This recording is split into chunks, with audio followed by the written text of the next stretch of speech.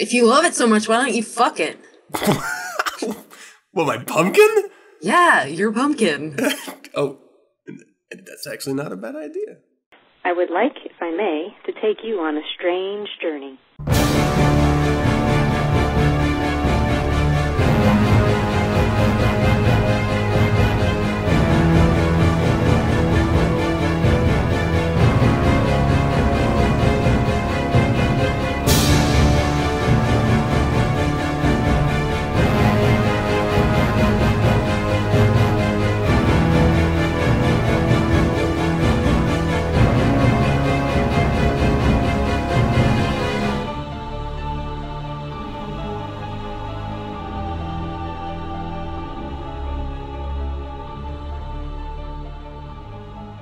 Welcome to 9sense. Nine Cents is a satanic perspective of our modern world, and I'm your host, Adam Campbell.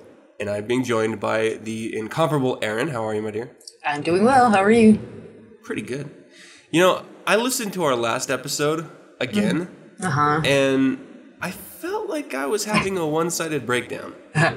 Oh, really? Because I felt I was having my own breakdown too. So It was weird because, like, I remember in the heat of it, I was like, "What? I am so frustrated right now with this fucking recording." And then when I was done listening to it, I was like, I was acting like a douche. Like there was nothing overtly anything. Like it was just me freaking out.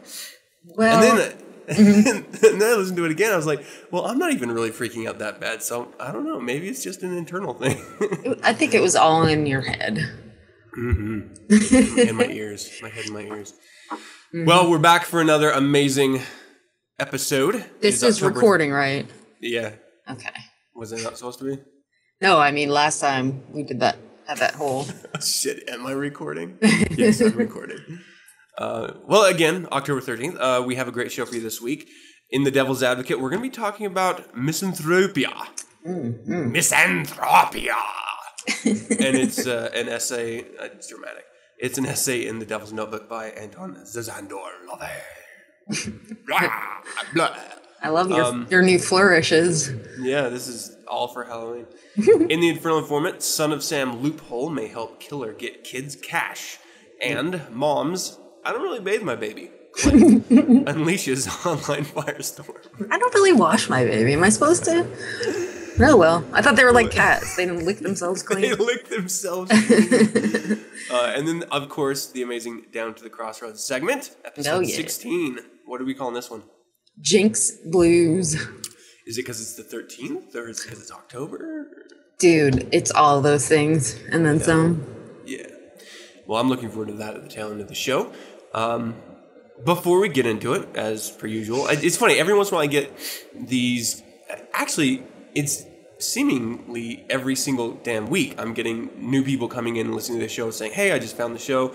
This is really great. I'm really enjoying it. Thanks for what you're doing." And I'm like. "Pfft, course it is. Don't be ridiculous. it's only the greatest podcast in the world. Why do why do people even waste their time? Like, Um, I know it's, telling it's you just it's known. You don't have to. All you have to do is say I'm listening, and I'm like, well, duh. right? Do you just write back like no doy? That's all it is. Doy. um, thanks to you, that has entered my vernacular. Um, awesome. so I, I get these, and then it's funny because every single listener is wildly different. Uh, some people love the Devil's Advocate Satanism centric segments. Other people uh, love Infernal Informant, or they love Down the Crossroads, or uh, any of the other amazing uh, contributor segments that we have on 9sense. Every once in a while, I get someone that says, and this last one said they like the entry banter, like the back and forth before the show actually begins. Oh yeah. I'm like, what the fuck is wrong with you? I mean, thanks. That's awesome. Like, that's people are clearly broken individuals. no, but I genuinely appreciate it because whenever I'm setting up the shows, I anticipate the, the sort of the meat and potatoes of the show to be in the segments and not in the intro or the outro banter. And so it's nice that even those uh, little pieces of this podcast are appreciated by people. And so I feel like, you know, we are doing something right by this. Hell yeah. So that's nice. Um, a little note here. Two more weeks! Two more weeks! Oh, it's only two more weeks! Oh dear. Oh god. Until, well, Halloween for one. Is it But- the end times? What are you so excited about? the greater magic episode. Hell yeah. Yeah, it's gonna be good, and uh, it's coming up here, peeps. I hope you're ready. Uh, also, Halloween, which is amazing. A couple weeks for that. I'm really excited. Yeah. We've been growing pumpkins for the last couple years, used primarily for uh, sort of dessert dishes and then for beer. Pumpkin. Um. I've been having so much pumpkin lately. It's crazy. We made pumpkin cookies, pumpkin pie, pumpkin Uh-huh. bread. Uh, I made pumpkin beer. I think. um, do you need me to resend you my address? Because I must not be getting your packages full of pumpkin cookies. you must be getting lost in the mail. Are you a fan of pumpkin cookies? I'll eat fucking any cookie. Just a shit cookie. As long as it says cookie, I will eat it. No, I love pumpkin. Anything pumpkin is. I mean, how do you fuck up pumpkin flavor? It's I'm- true. Yeah. No. It's So- delicious, but I, I mean, it, it is getting to the point where I'm, I'm eating so much of it. All I'm thinking about is pumpkin, and then we're carving, or actually, we've just been drawing on our pumpkins until another week, uh, so we can not have them rotted out by the time Halloween comes. But you know, we're drawing on the pumpkins right now, and then we're going to be uh, carving them, uh, like I said, in a week. And so pumpkins have kind of overtaken my world at the moment. Pumpkin obsessed. gi- ginormous, gantic monstrosity. I saw a uh, picture. one That thing was as big as your kid. it was so it, it took uh three guys three fucking guys to get it into this wheelbarrow. Um, well i say guys me and my cousin and a really old dude next door helped like wedge it into the wheelbarrow. And we started like driving like i'm pushing it and my my cousin is on the other end like holding it so it doesn't tip over on the wheelbarrow because it, it it's really like oh, having like a, a, a tennis ball on a shot glass and trying to move it around the room. It's just so you know it's so easy to tip off. Um, and so we finally got to my house and it broke my fucking wheelbarrow. Like it completely crushed the bearings in in my wheel of the wheelbarrow. And without a wheel, I just have a barrow. What the? what What is a barrow? barrow? God damn it! it's, it's just like an iron basket. I Like, find I like, wheelbarrow is one of the hardest words in the English language to say correctly. I always feel like I get mush mouth when I say wheelbarrow. I, that's I think that's why everybody says just says wheelbarrow, even though it, it's not a wheelbarrow at all. What's a barrow? Where does that come? Now I'm obs- now I'm obsessed with the wheelbarrow. I don't. I don't What's know. a Did you- barrow? It must be something, right? Ugh, crap. I think it's uh, isn't it like a grave or something? Oh fuck you! You're just making shit up now. Why would it? Oh, a grave on on wheels. That's what a wheelbarrow is. You gotta see now. I'm thinking it's just spelled wrong. it's not wheelbarrow at all. It's barrel. I was right when I was nine. It's a wheelbarrow. oh my god! I think you're right. It's from. Middle English. Means burial place. Yeah, that's what I'm saying. You know that? how I know that? Oh my god! The Did they? fucking Hobbit. Oh, you knew nerd! You think that's how they used to carry dead bodies to their graves? yeah, that's why they called it wheelbarrows. It's fucking bring out your dead. I'm not dead yet. Yeah, so I've, it's just been overtaking my world. So now I have this gigantic pumpkin in my front yard that I have to like spend some genuine time on, like coloring up and. Do you ever um play Tetris too much and like you saw and then you would go out in the real world and you would be like arranging cars like they were Tetris pieces? I can't I'm not the only I I know uh, r- What are you talking about? uh, okay, have you ever heard of the game Tetris? Yes, Okay. Did you ever used to play it yes. a lot? I, I mean, I guess as much as anyone. I don't. Uh, Maybe not as much as you. Well, I used to play Tetris a lot. And then when I would like be out in the real world, I would still see like Tetris pieces. Like I would make Tetris out of traffic, you know, and like try to like flip things to fit. Do you have oh anyway? God, I know I'm not the only one who's ever had this is insanity. No, it's not. It's not. You're crazy for never having that.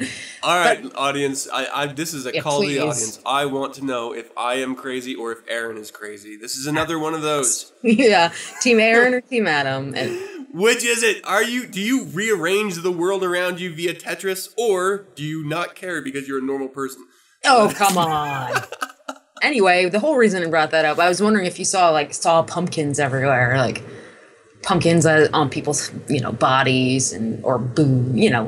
And it, I will now. apparently not. You're like, oh, super sane. I'm super sane. I don't see things that aren't there. well, whoopity doo, Adam. Holy shit! I forgot all about this. You, ah, you, just what you said reminded me. I was in my backyard uh, weed whacking, and I heard this like creepy like screeching, and I'm like looking around, like I don't see anyone in my backyard, and so I keep going. It's all. Oh I'm God. like, what the fuck is that? I turn around, and kitty corner in the backyard of my house is a tree house, and on this tree house is a figure completely clad in black, black hood, everything, no eye slots or anything, and it's literally standing there staring at me, pure black clothing, Oh tilting its head sideways as I look at it. Oh my God. Freak me the shit That's out. horrifying. And so I'm like, well, it's got to be just a stupid kid just having fun. It must, you know, I, I don't know what or the hell he's it's doing. a fucking banshee come to steal your so soul. I, I tried to ignore it and I kept going. And then every once in a while I'd hear this, and then I'd look up and it tilt its head sideways. Oh fuck that! And like, this was 10 minutes. Of You, and you didn't bother to put the weed whacker down and go investigate. Well, I was staring at him. Like I was, I could, I have a straight line view of sight, and and he's just looking at me, and I'm looking up at him, and he's making these crazy screechy sounds, and I'm like, well, I don't want to be that weird old guy that's yelling at little kids. But then uh-huh. I'm like, this little kid's like fucking Michael Myers in the training. Right. Who does that? He just stands there 10 minutes freaking me out. And, like, I'm not showing that I'm freaked out. I'm totally ignoring it, but inside my head, I'm screaming knows. around, arms flailing in the sky. The It shape. He's in your head. He knows he's fucking with you. it was, I. I would have run over there with the weed whacker and cut off the legs. oh, this is Get funny. down there! Whoever's Is this funny to you? It was so it was creepy. Like I I love horror movies and so I'm sort of Yeah, like, it's easy for me to get lost and stuff like that. Oh yeah. And if he if he would have stopped after like a minute or two minutes or five minutes, it wouldn't have had the impact. But he fucking owned. he was dedicated. I love that. It Selling it. Um, I still would have fucking killed him. I would all right. Well, we do have one more announcement here about Down to the Crossroads. Mm-hmm. Um, we are no longer going to be airing Down the Crossroads. oh, womp womp. Okay, so we are going to continue. uh, we're just going to do it in a different way. So I've I've been contacted by uh, a number of musical providers that have said that we are stealing their music what a bunch of by airing it, cocksuckers. and I would I would get it if we weren't using it under the fair rights usage by definition, Yeah. Uh, legally. Uh, you are allowed to play licensed music if Mm-hmm. you are commenting on it or reviewing it. And that's the sole point of this doing. segment. Mm-hmm. Uh, but because they can be assholes if they want and they can still take you to court and fight it, even if you're going to win, I Yeah. can't afford the fight. Right. So we have to adjust the way we do this. So it's going to be um, very much set up where I'm going to embed playlists in the website for each episode. And I'm assuming Erin is going to be uh, sharing the playlists via her social networking uh, page down to the crossroads on Facebook and hopefully Twitter and everywhere else if, if you. We'll are. see if I feel like it. All right. But w- the, ideally, what's going to happen is you're going to listen to the segment and then play those while you're listening. And so it's going to be this really great experience of you getting the crisp, clean version of that song, plus a first-hand access to it, which you didn't have before. So hopefully, this ends up being better for you in the long run, where you get to enjoy the music with our uh, wonderful commentary and Aaron's wonderful uh, information and review, but now you have literally at your fingertips to play anytime you want and stuff. So, you know, hopefully that's going to end up benefiting everyone and getting these fucking assholes off my back. What is up with these assholes? Seriously. cool. Well, I mean, other than that, do you have anything you want to discuss this? us, us, us, us? No, us? I just want to talk about what you want to talk about, Adam. I don't want to talk about that anymore. so scary. All right, let's jump into Devil's Advocate. In nomine de nostris salus Luciferi excelsior. In the name of Satan, the ruler of the earth, the king. Though I am an active member. I do not speak for the Church of Satan. H.L. Mencken said, I reserve the right to be a lonely man. I don't crave companionship. It stands in my way. I live for pleasure. There are few persons who can give me as much pleasure as those acts I perform myself. I would rather create pleasure according to my own whim than be subjected to whims of others. Invariably, I wind up entertaining others or educating them. There is no push pull, it is only pull, and they do the pulling. I find greater companionship in inert figures, animals, and speechless artifacts, for I can enjoy their presence and there is no psychic drain. In fact, by their very stimulation in accordance with my tailored ideals, they provide me with not only entertainment, but food for thought. Turn the page. That's good. Okay, so uh, Yeah, are you uh, a misanthrope? Aaron? of course, of the highest order. All right, so for anyone who hasn't read that essay and doesn't know what a misanthrope is, it's an individual who dislikes humankind and kind of just shuns them, avoids human society as a whole. Uh, and Anton LaVey was very much one of those individuals, and arguably you can say a portion of that comes within yourself, and then some of it comes from the way other people just are, not wanting to be around that.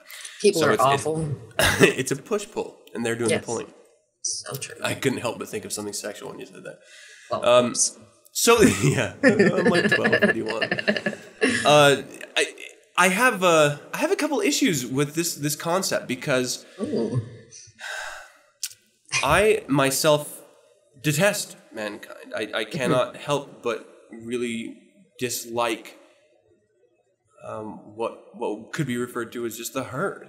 Um, But it doesn't mean that I withdraw myself from it entirely. I mean, obviously, there's things that you still have to do with interactions. So, Aaron, do you think that in, in some aspect, uh, there's no such thing as a true misanthrope unless you're liv- living like a cabin in the woods?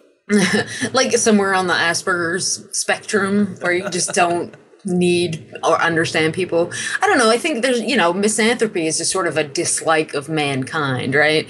Like if you want to get literal in the term, but you know, I mean, people need social interaction. People need people, you know, and and you know, Dr. LaVey was the same way. Of course, he had real life companions as well as his sort of android companions, but you know, he had very intimate, loving relationships. We all do, and we all need them. Uh, so it's not about necessarily being a, like a shut in or a loner. It's about, you know, sort of uh, being realistic about the human race and how 99.999% of the human race is expendable and sort of worthless and nothing but a drain on your resources. um, but there are those, you know, the select few, you know, you know, instead of wasting your love on ingrates, it's, you know, loving the people that are important to you. And I, we all do that. Your children, you love them. They're people, mm-hmm. right? I guess they are people. For the most part. Yeah, most of the time they're people ish. so, you know, yeah, you just, it's about being selective. I think, I don't think, you know, you can hate mankind and love individual people. And I think that's what it's about. Yeah, I mean, this idea resonates completely throughout, as as do, do many of the ideas that, that are a part of, of Satanism. But this idea resonates throughout all of, of what being a Satanist is. It's it's championing the individual and not the the group or the herd. Uh, in this particular essay, Anton LaVey seemed to really uh, take it as an opportunity to talk about the idea of artificial human companionship Sure. as a stand-in for the human need just i don't know if it's a genetic or psychological need of of having other people around you. But that's where having artificial human companions is the ideal scenario if you really cannot stand uh, the masses out there. And there's good reason not to like the masses other than just having a wildly inflated ego and thinking you're better than everyone else. I mean there's Right.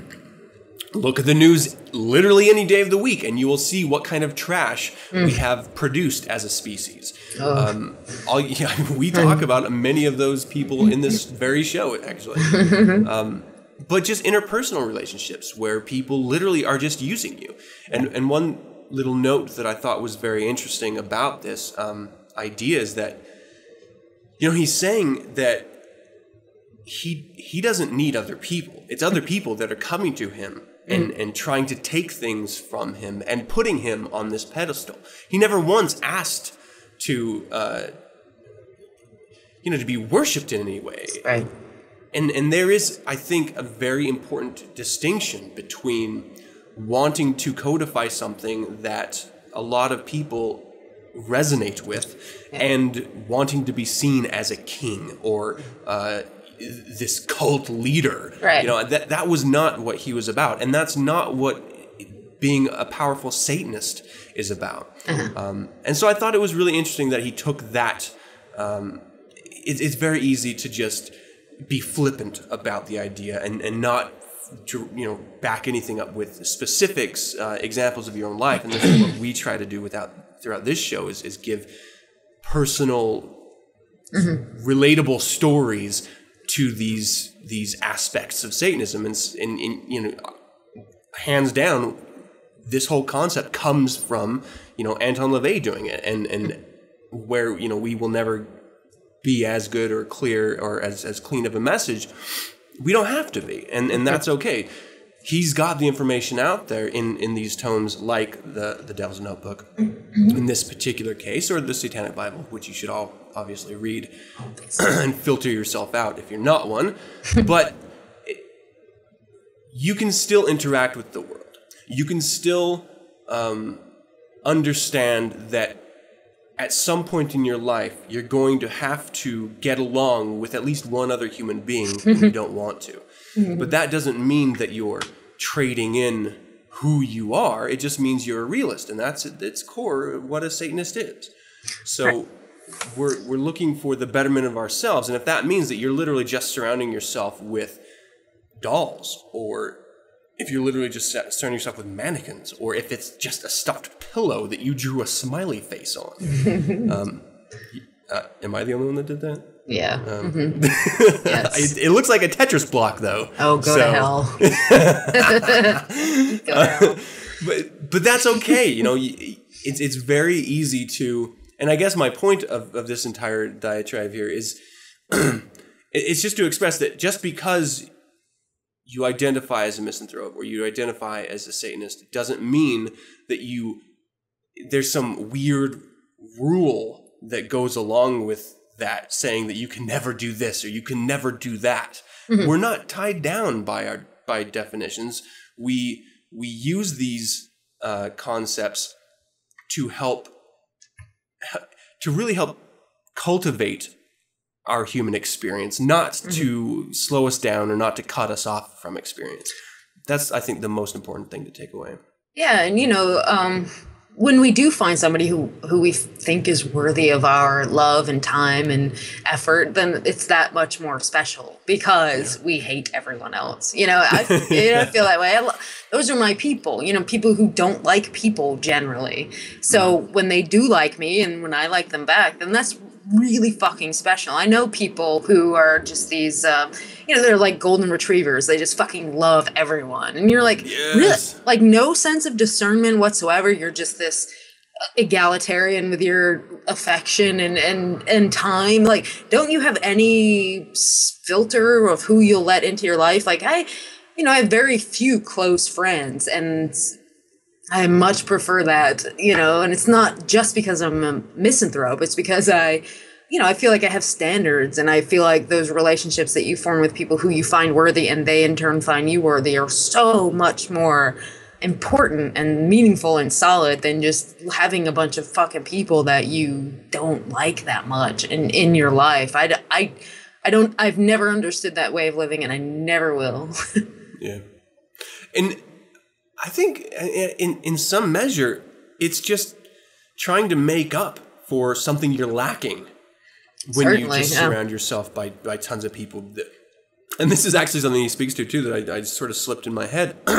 it's that in order to be a worthwhile companion or a worthwhile human being, you have to be one and whole within yourself. And if you are feeling so inadequate within yourself that you have to latch on to other people to somehow fill up that other half, half of you, well, then you're not a human being and you have nothing to offer yeah. you, you know, we play with this idea often on this podcast, um, and and I don't know, maybe maybe directly within the world as well, of, of this idea of, of self actualization. But you know, you can really just distill it down to being okay with who you are. It's not it's not everyone trying to reach the Superman status. Mm-hmm. It's you accepting your strengths and weaknesses and Definitely. yeah. and just living with that and being okay. And if you if there's something you want to work on, then you do it. But you don't do it because you feel like you have to reach some pinnacle or something. Right. it's all That for seems you. to be a big fallback. Yeah, it's so we we have to keep that in mind as individuals as well. I mean, you, there's no way that you will be of benefit to anyone in this planet if you do not have a sense of self, and and you can't just be alone at times.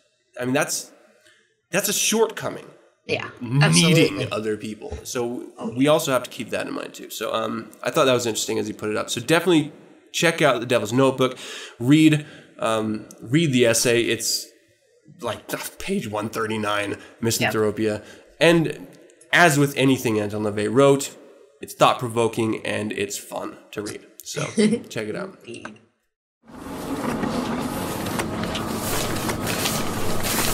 we go. Hey, what's going on fast? Uh, in front of the foreman. Get out of the truck. You out now. So, a Son of Sam loophole may help killer get kids cash. This is uh, from the Associated Press by Frank Eltman, published on October 13th. Hey, that's today. All right. It's the hallmark of New York's Son of Sam law and others like it across the nation. Convicted criminals should not be able to profit from their crimes. But legal experts say the case of the Long Island mother who drowned her three children in a bathtub is now seeking cash and is now seeking cash in could am I retarded? What's That- no, that is fucked up writing. what the hell? you guys get the gist. Okay, since We which- could write for the Associated Press Oh my apparently. God, Frank. Eltman doesn't know how to fucking write. Hey, Frank, I got a bone to pick with you. All right. Um, since Leatrice Brewer was never convicted, instead found not guilty by reason of mental disease, legal experts say she could make a plausible case to receive some of her child's $350,000 estate. The Brewer case is a novel circumstance, said George Washington University law professor Jonathan Turley. The facts do seem to place her outside the scope of the law, although that does not mean that there could not be other barriers to her recover- recovering from the estate of her children. Brewer, 33, slashed her daughter's throat before drowning her and two younger brothers in 2008, believing she was saving them from the deadly effects of voodoo. Hours, I love that shit. Hours after the killings, she survived two suicide attempts, swallowing a concoction of home cleaning fluids and later jumping out a second story window. A So- second story window. Good job, dum dum. She's fucking wicked half assed. Oh, weird. Fucking unbelievable. All right. So yeah, we'll stop there, I think, right? This so basically what they're saying is because of this loophole, I'm not even sure what the loophole is. Are you? Just oh, I do. Uh because she was not she wasn't found guilty. She was found crazy instead. Yeah. So in that therefore she's a she's maybe uh eligible to receive some of her kids' estate. First of all, what fucking children have a three hundred fifty thousand dollar estate? I don't I was that. wondering that myself. I was like, That's when "How is this my- possible. when my parents died, neither one of them had a thirty-five dollar estate. So where do these fucking three kids get three hundred fifty thousand dollars? Is that anyway? We may never know that, but Yeah. I mean, they are saying that even if she succeeded in claiming this money, she would never actually see it because she has this $1.2 million lien against her psychiatric counseling services. Mm-hmm. Um, but who is this? Who is this serving? Like, yeah, no one. there was her original trial Mm-hmm. that the taxpayers paid for. Then there's her stay that the taxpayers are paying for. And now Right. there's this trial uh, to see if she can actually get money that the taxpayers are paying for. yeah, And meanwhile, she literally murdered three of her children yeah, because she was afraid of voodoo. Yeah. Kind awesome. of a fucking. w- This is why we're missing. I love it. I love it. These fucking people. Okay. um, insane. Uh, Yeah. 100% insane. I don't understand why this is even an option. Why we give convicted. One, okay, one, uh, uh, she, she was a murderer. Yeah. But she was seen as mentally deficient, and so she didn't have to, uh, you know, go through that, uh, you know, see prison or, or see a de- the death sentence. But do we see it as a society to owe mentally deficient people? Like, why are we treating them better? I don't understand. I think once you kill someone, you forfeit every fucking human right that you ever had, right? I mean, that's pretty much how we usually operate. Just because someone's crazy, well, I, I've never understood this, and I may never understand how that absolves someone from not. I mean, uh, obviously she's she's um being penalized in some way, right? I mean, she's not just free, like roaming around, like having more kids and murdering them, but we didn't kill her, which is what we wanted to do, right? Normally, we would have have just sent her to death. Is that I think so. Yeah. in this? where she? New If York. she was convicted, I mean, in New Right. York, I don't. I don't think New York does that, do they? I think they're a little more liberal. yeah, they are because they were the first ones to enact this "Son of Sam" law, Yeah. which is which is great. I think, yeah, of course, they shouldn't be able to um, benefit from. I, right, the "Son of Sam" law is you you're not supposed to be able to benefit from from like you can't sell the story of the crime and make money off it. That's basically right. How I think how what that means, but. um, yeah, she shouldn't get any fucking money from her kid's estate. I don't know. I mean, there must be the, the father, right? That that that deserves that money, you know, more than she does for sure. Or yeah, or the next living relative, or it just stays in a trust for the children. I, I'm, I'm well done. They Well, they're dead, it, but, yeah. yeah. when So I they come back, when Jesus Yeah. returns, But yeah, right. When they're resurrected, like spooky. so retarded. Okay. Um, no, no, no, that's fine. You know, but I think it. Yeah, we'll go to the father, right? I, I'm pretty sure. So is she really like?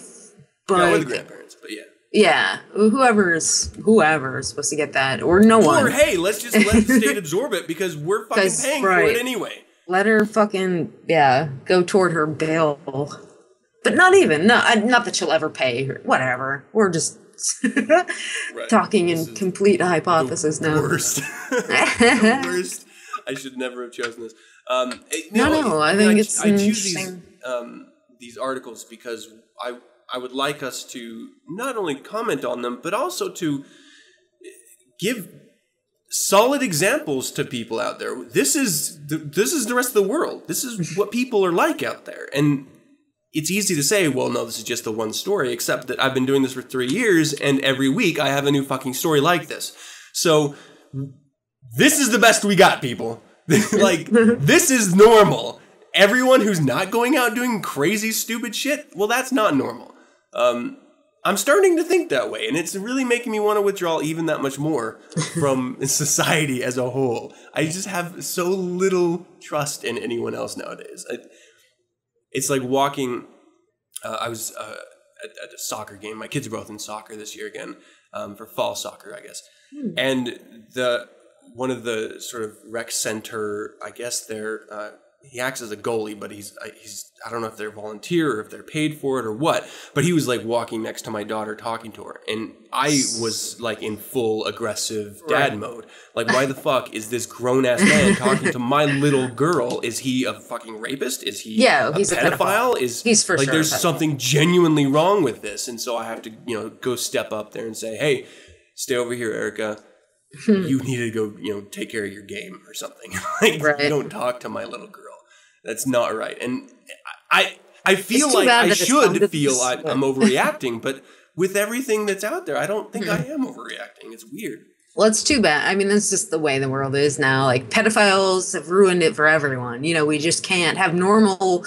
You know, there was a time when grown men could talk to little girls alone on the street, and it wasn't that big a fucking deal. But you know, now there's pedophiles. We all know that they exist and they prey on children. So we just, you know, we can never let our guards down. Unfortunately, Yeah. Thanks, pedophiles. Thanks a lot. fucking ruin everything. Terrible.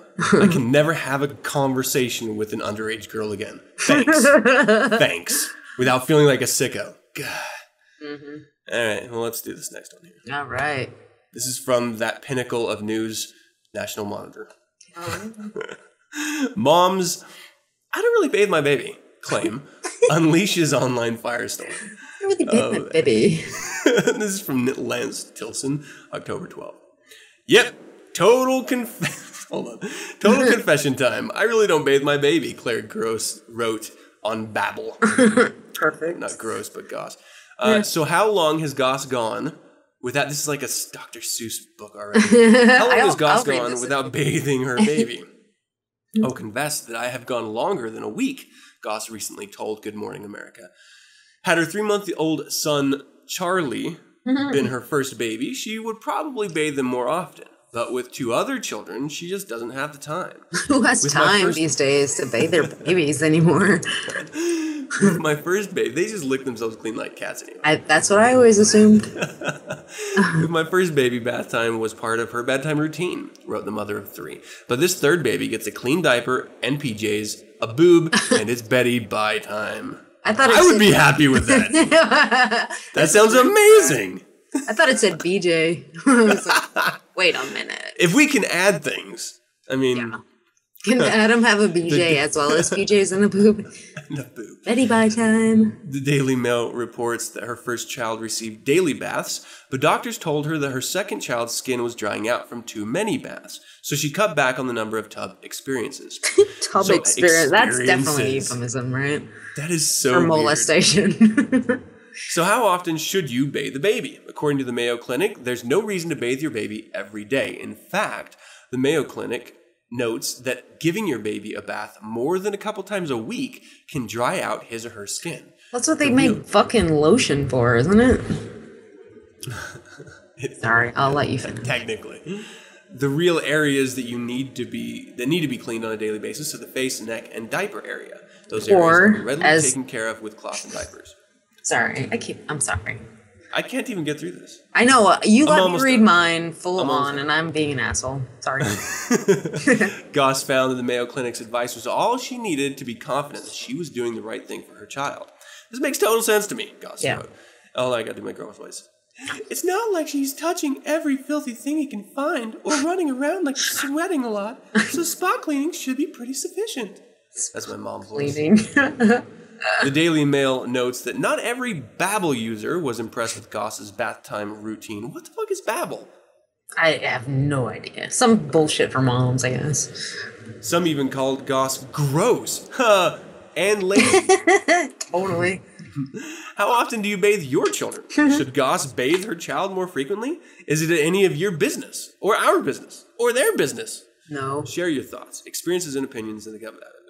Okay, I just fucking promoted the stupid. um, so what I do you like think, uh, Aaron? Well, I lady I with no children. I know. Yeah. I subscribe to the George Carlin theory of hygiene, Same and that is armpits, asshole, crotch, and teeth. That's all you really need to watch on a daily basis. Armpits, asshole, crotch, and teeth.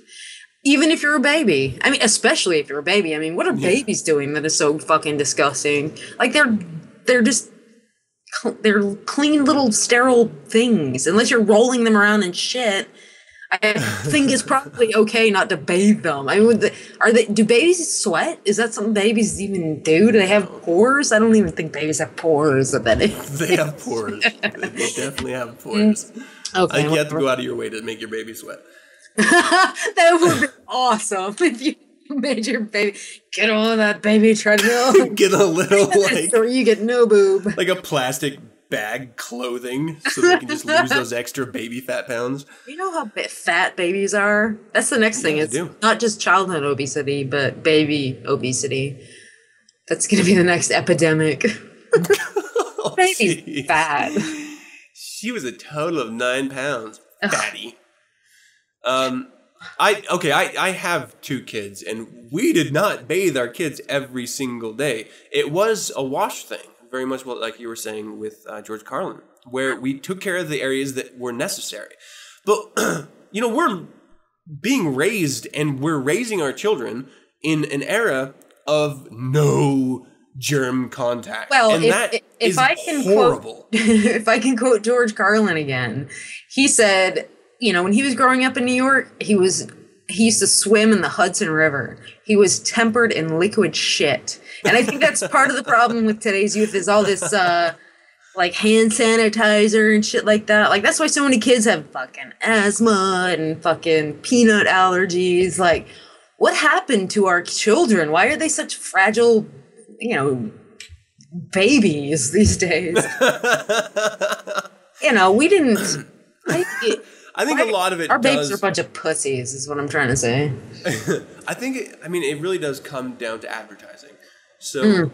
you know, in in the late 1800s, we started advertising the concept of soap much more, and we literally defined as a species the role of a woman through advertising, which is an amazing concept in and Mm-hmm. of itself. But then Johnson Johnson is a perfect example where they took it and ran with it and convinced people that you had to clean yourself every single day. It was the only way that you would be pure, and you have to wash your hair every single day. Mm-hmm. Even when science flies in the face of that Mm-hmm. advertising money-based statement, people still believe it, and they it's it just become this cultural norm. And there are real, genuine drawbacks to it. Yeah. Our health is getting worse. Our we are not growing the, to- the tolerances to just typical normal bacteria that we have in the past. And mm-hmm. so we're a sicker society, which means mm-hmm. it's this vicious cycle where we have to uh, make more pills and then take more pills and have more side effects and then to get more mm-hmm. pills to take care of those side effects. And it's and it's all because we're we're hyper aware of this crazy idea of a germ. Yeah. And It's like shampoo One- and conditioner, you know? Well, in my opinion, yeah, exactly. In my opinion, there's not a whole lot of a difference between fearing voodoo hmm. and fearing a germ. We're built in order to deal with it. Like that is Right. that is how we have survived as human species is because we can fight germs and disease. That that's what we do. That's how we roll, peeps. so don't act like it's some horrible thing you have to wash away. And like this lady who's just taking care of her kid just fine. Yeah. And as if it's your business in the first place. But to the point, she's doing that baby more of a service than anyone out there washing their kids three times a day and, and drowning them in Purell. Absolutely. There is literally no benefit to doing that. So, and you're actually just hurting them. Yeah, I mean, we survived this long without fucking Johnson and Johnson, and How is you know, possible? Hmm? How is that even possible? yeah, It's just so dumb. And, and Yeah. people are so. And I get it. If it's your first kid, you are Oh, I'm sure. more Yeah. I would imagine. Like, oh, don't- touch anything. Don't breathe. Don't don't That's- talk near my child. Your breath. that's why I don't have mean, kids. Hmm. There's a natural panic that you know you sort of think constantly. You're just living in this this hype. It's like when you're getting in a fight, that adrenaline. That's how you are as a parent during those first few months or years. Sounds awful. and it's good it's a natural reaction because you're protecting your child you have Yeah. to you know it's an innate thing you have to do you have to experience but that doesn't mean you react that way you know it, I would hope not. Yeah. you have to be able to you have to be able to separate your panic from reality Oh. and as a parent it's more important than anything else because it's not just you you're affecting it's your child so, So it's crazy and insane that people are freaking out about one something that they have literally no immediate connection with but two that she's actually helping her kids and you're not and she's the bad guy it's it's weird Well, no one ever really Yeah. in the mirror I mean, it's other moms who are upset. Like I, people like me, I don't give a shit. Bathe your baby Yeah, or don't. I don't fucking care. But it's other moms, and you know, they. It's probably first time moms who are most upset, and you know, it's, they look at this woman and they're like, "But wait, you're not panicking like I'm panicking. this must be wrong." dog. You know, and it's just jealousy and whatever. They want to be that fucking like laid back and unpanicked, but they see this, you know, so. I, I really don't think you need to worry about this, especially other people don't need to worry about this woman's baby. Like he's not Yeah. Rolling around in his own feces and eating it. You know, who gives a shit? Who gives a shit? feces cookie Please. I'll give you my address off there.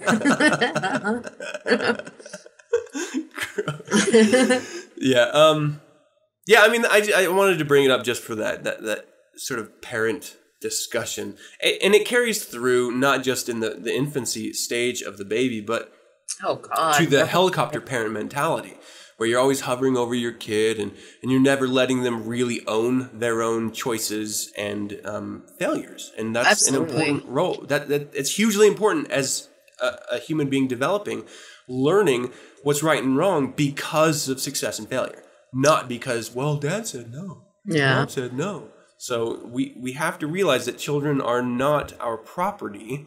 That we do not own them, and they are different human beings from you entirely. You're just supposed to keep them alive and do your best to steer them in a good direction. but you have to let them take control and not freak out and ruin their life by overexposing them to cleaning products. Because you think those cleaning chemicals are all that good for them Yeah, which is better a little bit of dirt or a little cleaning chemical? And i would fucking guarantee in any case dirt is going to be better i mean fuck that's why i wash in dirt Me too. mud bath Ah, there you will. Sure you won't stay out in this blackout? Sure is dark tonight. thank you for the ride sir i think i'll be fine Suit yourself.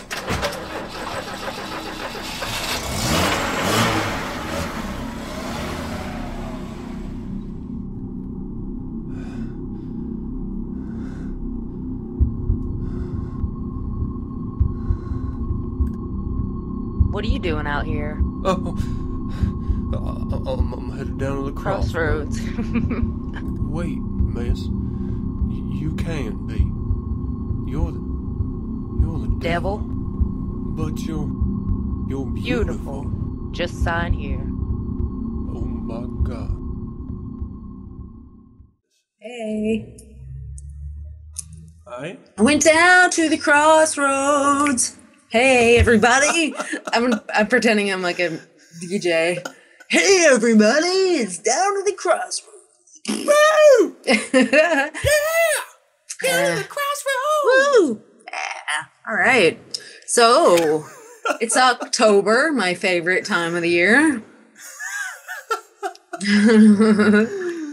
the, can you please not do that anymore? I'm sorry, it's in my head. Did, so you never like figured out what was going on? No, it was a crazy kid who was trying to freak me out, and he totally did. He totally did. He won. He owned me. I Nicely was his bitch. Right.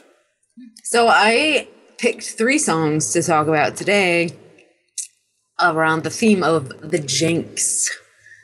What is the jinx? So, you know, a jinx, like when you cast a sort of curse on someone so that they fall Voodoo. Like voodoo like hoodoo and voodoo. It's um it's all it's almost you know, it's not quite wishing them like horrible luck, but it's sort of like you take their luck from them, which is such a great idea. So it's different than that, you know, jinx you owe me a coke jinx. Just Yeah. for the for the record, that's something else. That's what I thought it was at first. I was like, are they just saying the same thing at the same time? And then you owe 'em a Jinx. Coke? No, this is different. So I'm gonna play this. This is, you know, all right. I'm gonna hit play right now. What do you think? Pretty good. Uh, this sounds pretty badass. So Son House, everybody's um favorite barely functioning alcoholic. Oh, let me say really quick, if I may.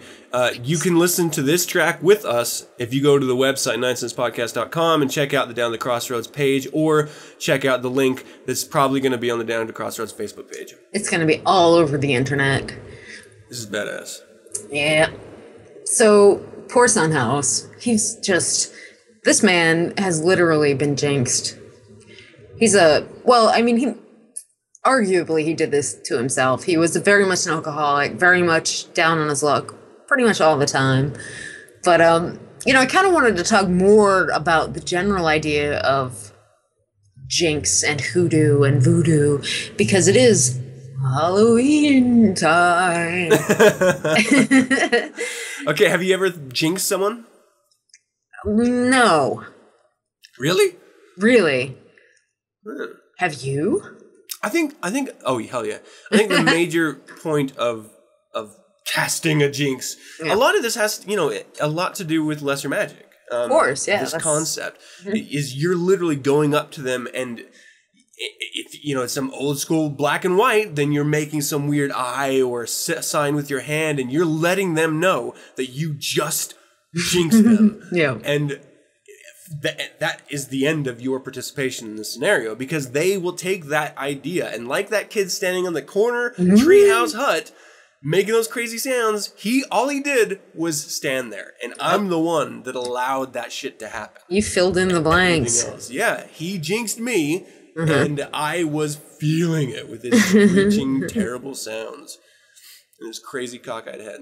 So yeah i've, I've totally jinxed people. And mainly honestly uh, it was younger you know younger adam not grandpa adam where, where i just I, I felt like i had this sense of entitlement and other people whenever they didn't conform you know i'd go out of my way to to make them pay in one way or another Sure, sure, yeah. um, so th- I guess that brings up a good point. Do you think that because often whenever you see a jinx in a movie or you hear about it in a story, the person jinxing someone else usually is trying to set right bad behaviors or something like that. Yeah. Um, in my case, I was doing it to be the aggressive person trying to just write something for myself. Do you think is is there a is there a broad context to that that pe- like a rule that goes along with that? No, I, I don't.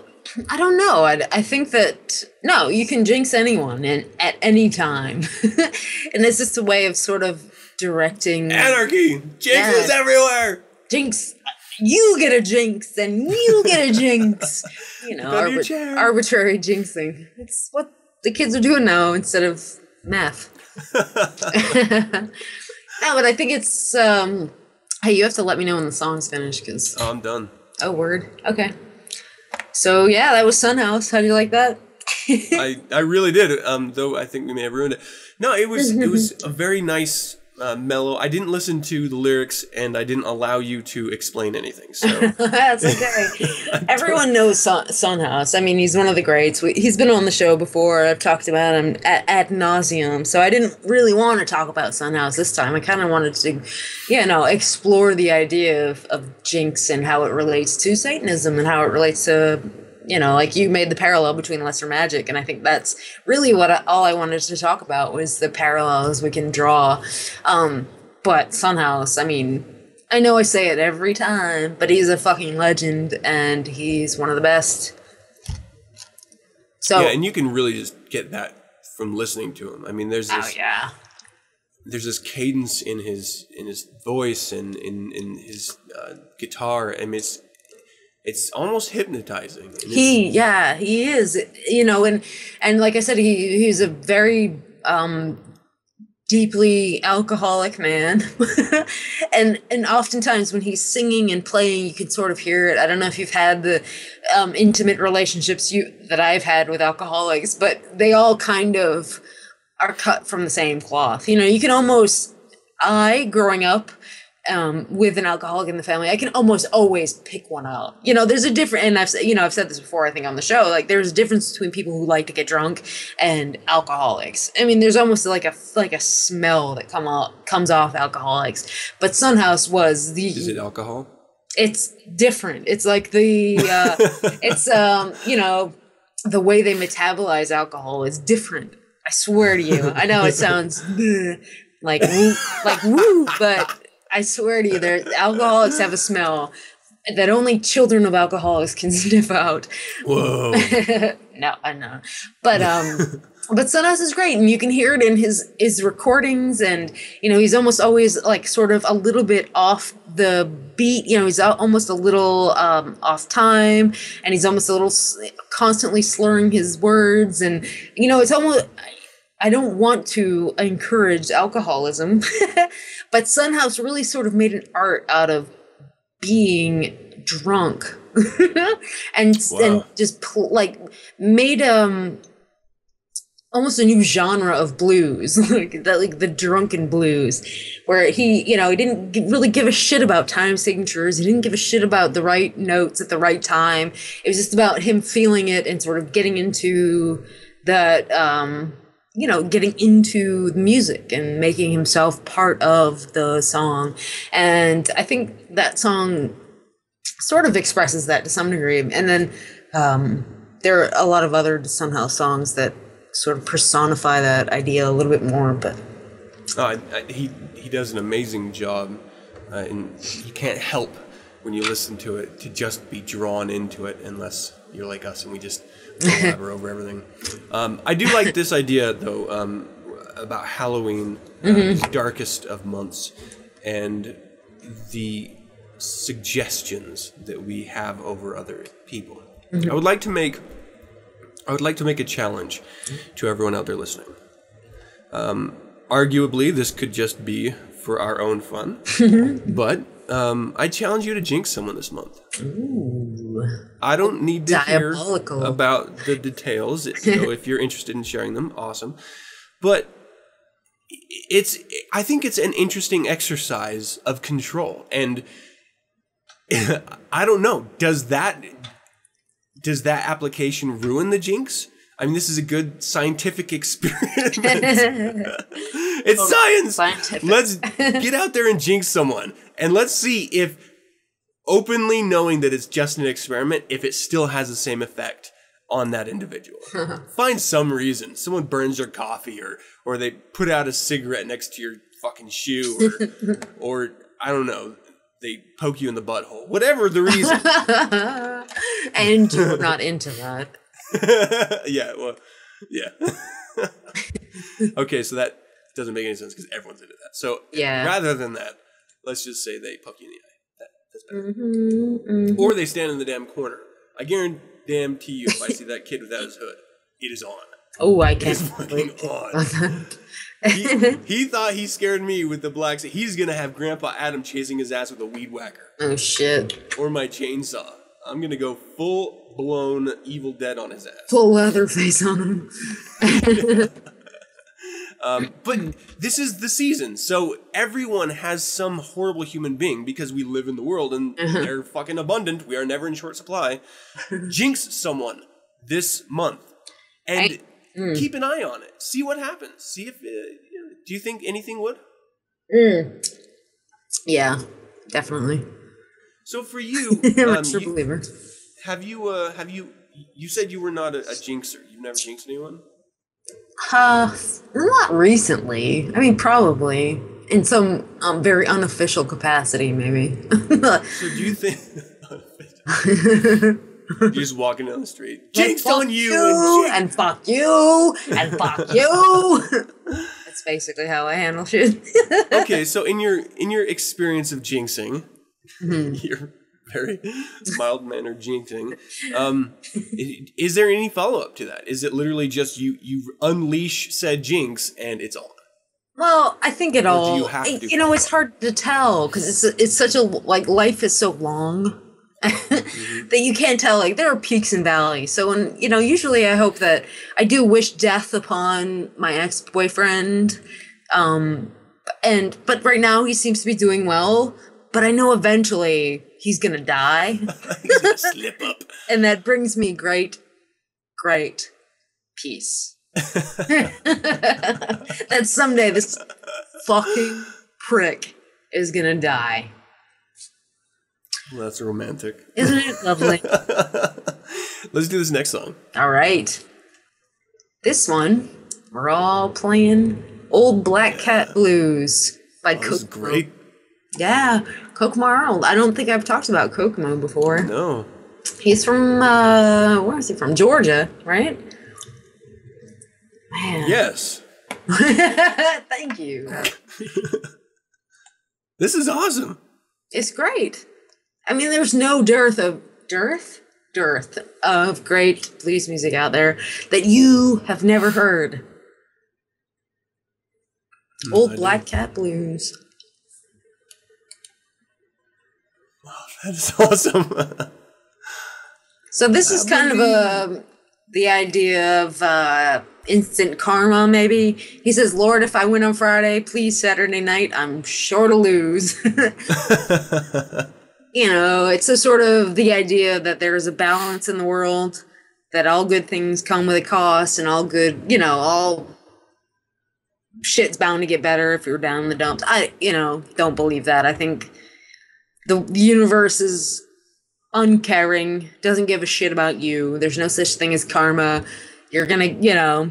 But I do believe that you kind of reap what you sow, if you will. You know, if you're sh- constantly doing harm to other people, that's go- just gonna come back to you at- at some point. That that's funny because that is the definition of karma. Right.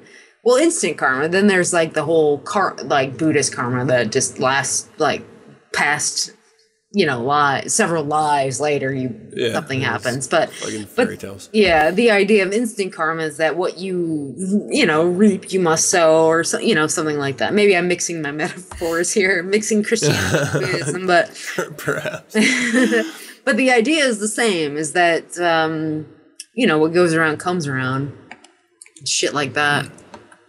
See, I don't I don't know that I even see it like that. I I think because when you say it like that, it's almost as if there's something out there that's going to make it Right. happen. And what Well- I think is people who who do horrible things bring that shit onto themselves Mm-hmm. Right. throughout their behavior. And so because you're perpetuating a negative lifestyle, Right. you're the one, you're the, the catalyst, you're the cause for it, it going bad. It's so I don't know if that's just semantics, if it's Mm-hmm. you know just I think we're both, you know, we both agree on this. There's no greater power. I mean, everyone who has any fucking Well, I sense mean, at all us, knows that, right?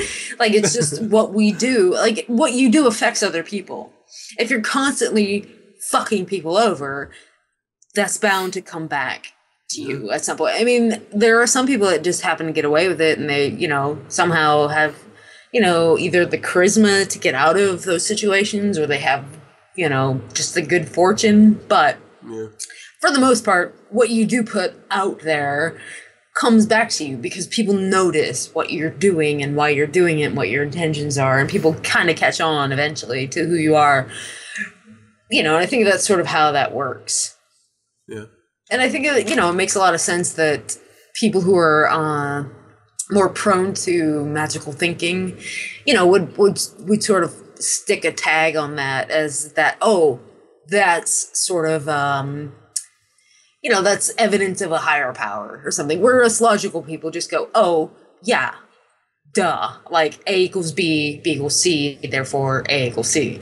You know whereas people who are into like you know still you know simple syllogisms but people who want to believe in magic who believe in god and who believe in fairy tales and shit like that then they're more prone to just attach a sort of meaning quote unquote meaning to that where people like us who just go oh yeah a equals b b equals c therefore a equals c go oh okay. The you know the the world has a sort of math to it. The world has a sort of logic to it. And uh, those people who recognize it just go oh yeah that makes perfect sense. And then those people who it's you know it doesn't make sense to go oh that's fucking magic you know or that's god or whatever that is to them but the I mean, world arguably, it, Mm-hmm. it is the that idea of, of claiming that you're jinxed. Like Right. everything you do in life Right, right. is because Totally. of every failure is because of a jinx. It's not. It's not because I'm a loser. Right. It, it, it's not that I'm an alcoholic. and Exactly. I'm the literal reason why the, my world crumbles around me. It's because I'm jinxed because Right. I stole that fish that day and that old lady jinxed my ass. It wasn't me. Exactly. It- it's a way of, of, of pushing off ownership of your own pathetic life Yes. onto something else. it's nice that that we can openly sort, sort of talk about it and recognize it and even use it to our advantage. Mm-hmm. It's essential um, if, if if that's what you're into, and I certainly am, um, to manipulate your surroundings and other people specifically. Mm-hmm. To, and you can't you can't really believe in a jinx or Mm. in a curse, for example, in the in the way that the majority of human beings do when you when you see the world like we do as satanists you recognize it as you know you, yes you are exerting your will to change things to uh, literally affect their lives indirectly but you're not out there like a puppet master pulling Yeah. strings Yeah. It- you know and we don't actually fully understand why suggestion works so well and we don't fully understand why when we curse someone it works so effectively Mm-hmm. But it's not that important either like we don't have to really break it down but i think I think one thing that is is pretty clear is that if, if you're if you're open with this understanding, um, the way that Satanists see magic, lesser and greater, if you're open to the idea of suggesting and manipulating other human beings, then you're that much harder to manipulate because your eyes are open. Yeah. Like Exactly. you're aware. Yeah, it's like these people who go out and there's like they're like yeah, everywhere I go, I just attract trouble, and they never stop to think like maybe it's me who is trouble, and I just I think it is you, Aaron. it's me. It's definitely Yeah. me. Yeah, I totally agree. Let's. Why don't we go to the next song because we're just I'm sorry. Yes. so. All right, this one is Gabriel Brown, who most people may never have heard of. I've never heard of this. Oh, nice. It's good. It's really good. Mm-hmm. Gangs is on me.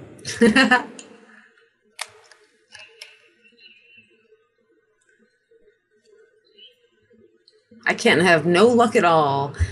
So yeah, this is basically the idea that he's, you know, no personal responsibility whatsoever. It's like somebody's this is happening to me. I, somebody's doing this to me.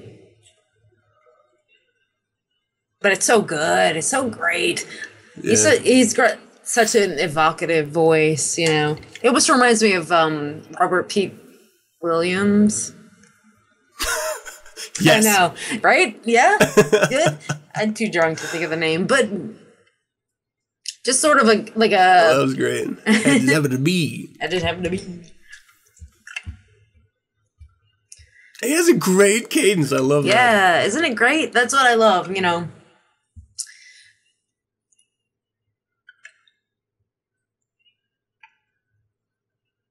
He was discovered by um, Zora Neale Hurston, who was a she, most famous, I guess, for writing that book. Uh, Their Their Eyes Were Watching God, but she was also a folklorist from Florida, and she was really interested in folk music and got really involved with like ethnomusicology and studying. And and this guy Gabriel Brown was discovered by her, which is fucking great. She's fucking such a hero, and only you know, people only mostly know her from her um, fiction writing, but Their Eyes Are Watching God was a pretty phenomenal book.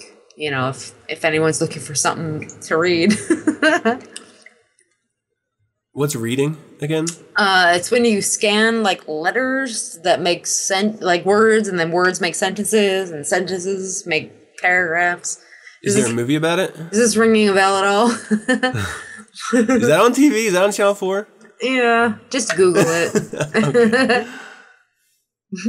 Jinx is on me. So yeah, I can't have no luck at all because somebody stole it. It's basically That was great. well, well, how can uh, how can people find you online? well, you know, I'm all over the internet on Facebook at Down to the Crossroads. Please like us. We have 422 likes. I want 666 by the end of the year. So like that, Down to the Crossroads. Um, I'm on uh, Twitter at Chelsea Girl 19, and I'm gonna be yeah, I'm definitely gonna put up the playlist. Eventually, I'm sure I'll figure out how to do the iTunes playlist. But does anyone care? They actually they don't want to buy these tunes. They just want to I hear them. So these are amazing. I hope so too. I So buy them every single week. so I'm gonna put up the Spotify list, hopefully the 8tracks list, which has some extra tracks on it, and um, the iTunes. So stay tuned. Mm-hmm. Yeah. Down on the crossroads, yeah. Facebook. Well, thanks again. I think that's uh, it's an it's an amazing segment, and I'm really really excited that uh, you bring it to us every month. Thanks. I'm happy to do it. I look forward to it every month. Like Like my period, yes. I was gonna go. Yeah, I know. I know, Adam. We're sympathetic. We're on the same page. It's right there. Nice. All right. Well, everyone, thank you for listening. That's going to do it for another show. I hope you enjoyed it. We would love to hear from you. Visit the website 9sensepodcast.com and send your correspondence to info at 9sensepodcast.com or go on down to Down to the Crossroads on Facebook and send a message there or tweet Chelsea Girl 19. Let us know of any suggestions, critiques, corrections, or general comments you might have. You can visit, excuse me, you can visit the SatanNet, Facebook, Google Plus, Twitter, or MySpace page. Too much pumpkin. I'm turning into a pumpkin. You are. Uh, Twitter or MySpace page for 9sense and get updated on weekly topics. Download the show Monday nights via my RSS feed, found at 9sensepodcast.com.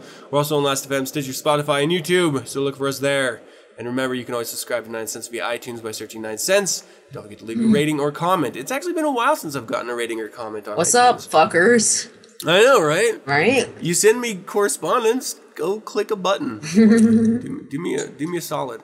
Uh, if you would like to learn more about the Church of Satan, visit churchofsatan.com and pay attention at the end of this month, sometime around All Hallows Eve. Something's going to be happening over there. It's all for you, So- Damien. Check it out. The only way that this podcast is going to continue to exist is if you continue to tell someone else other than you about 9sense and your imaginary friend. Don't tell them they already know. Uh, share 9sense. I appreciate every single new listener I get, and then when they drop off two weeks later. So let's keep, let's keep churning it, people. Help spread the word. And once again, thank you for joining me and Aaron. And as always, I'm your host, Adam Campbell, and being joined by. Aaron. It's the Until next week, hail Satan! Hail Satan.